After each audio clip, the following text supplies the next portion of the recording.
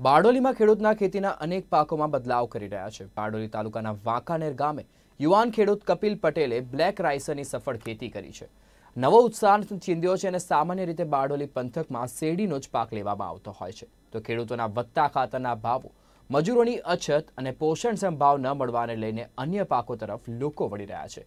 આ યુવાન ખેડૂત દ્વારા પંજાબ ખાતેથી બ્લેક રાઇસનું બિયારણ લાવવામાં આવ્યું હતું અને પોતાની ખેતીની જમીનના દોઢ વીઘામાં બ્લેક રાઇસનું મબલક ઉત્પાદન કર્યું હતું.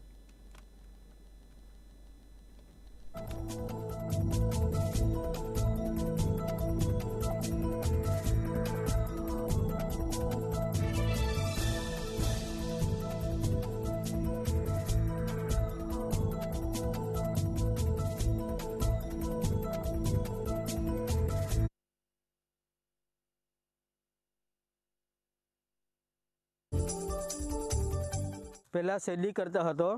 પછી મને વાત મળી કે ચાલો ભાઈ, પણ આ એક બિયારણ મળે એવું છે બ્લેક રાઈસનું તે મેં પંજાબથી મંગાવ્યું, એક ભાઈ પાસે.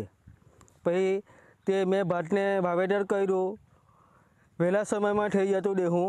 અત્યારે મારું ભાત કપાવવાનું તૈયાર છે. કાલે જ કાપ, આજે આજે સાંજે તો કપા સુરત જિલ્લાના ખેડૂતો હવે બદલાતા સમયની સાથે પોતાની ખેતી કરવાની પદ્ધતિમાં પણ હવે બદલાવ લાવી લાવી રહ્યા છે. સામાન્ય રીતે ખાસ કરીને શેરડીનો જ પાક લેતા ખેડૂતો હવે વધતા ભાવો મોંઘવારીને લઈને અન્ય પાકને વિકલ્પ તરીકે વિચાર્યું છે અને ખાસ કરીને બારડોલી પંથકમાં પ્રથમવાર એક પ્રયોગ જોવા મળ્યો છે જે બ્લેક રાઇસનો અ, ખેડૂતો દ્વારા આ નવીનતમ ખેતી કરવામાં આવી છે.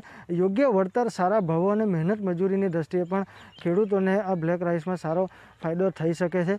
અને આવનારા દિવસોમાં પણ આ જે બ્લેક રાઇસને લઈને જે ખેડૂતોનું જે ઉત્પાદન છે તેને સરકાર દ્વારા પણ પ્રોત્સાહન આપવામાં આવે અને સ્થાનિક તાલુકા તેમજ જિલ્લા મથકોએ આ બ્લેક રાઇસના વેચાણ માટે પણ યોગ્ય વ્યવસ્થા કરવા